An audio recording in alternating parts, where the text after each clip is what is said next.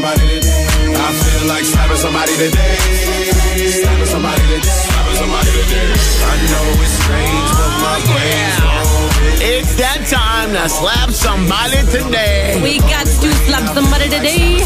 We got a double story here. Two different stories, but same theme where you have the most horrible moms on the planet. Oh, man. So I figured we put them together and just slap them together. Okay, all right, let's do it.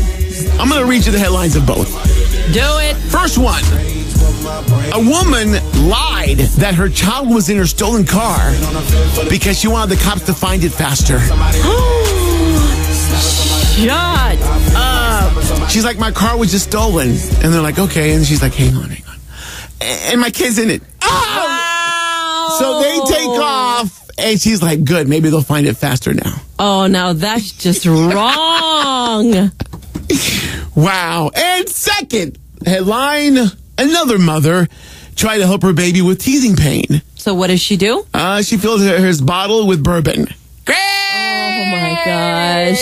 There you go, ladies and gents. I mean, wow. I can't completely knock that woman because that's what they say to do. Put a little, some little bourbon or something with their teething on their gums, like a tiny little dab on your she finger. filled the bottle. She said, I'm going to take care of this.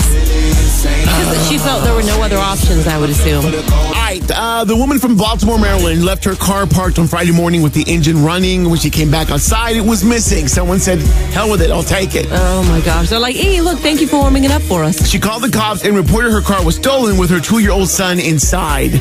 The police launched a massive hunt for the car and the boy. Two hours later, they found the kid at his daycare center, just sitting there, twiddling his fingers. Oh, there he was. He was coloring. At that point, the woman said, Okay, I'm sorry. I lied about him being in the car. Oh, what a hooker. I just thought that if I said that, you might find my car. Arrest her. fast." Arrest her. Yeah. She was charged with making a false statement to police. And ironically, her plan didn't even work because even though the cops found her son, they never found the stolen car. Good. Oh. I'm glad they didn't find the car. Are we sure the little kid wasn't uh, driving the car himself? Thank Did you. he drive himself to daycare? Unbelievable. She didn't try to throw that out there. She dropped him off. What the heck? wow. Yes. So she gets a slap right there. Give And then it to this- her. Other lady, uh, 28 year old Lori from Arkansas. She had a 10 month old son who was teething. She couldn't get him to stop crying last week, so she called her mother for help.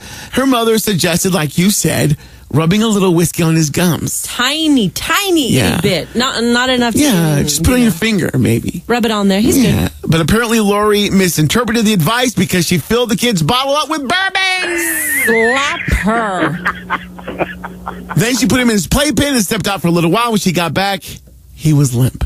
What an evil, horrible person. Of course, rushed to the hospital. His blood alcohol level was 0.19. It took several days of treatment before he recovered, and he was released to child welfare oh, workers. No. Wow.